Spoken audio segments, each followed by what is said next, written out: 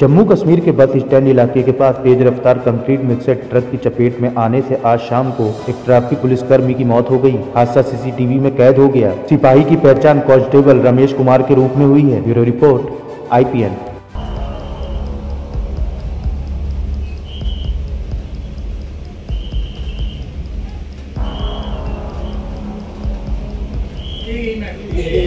Yeah,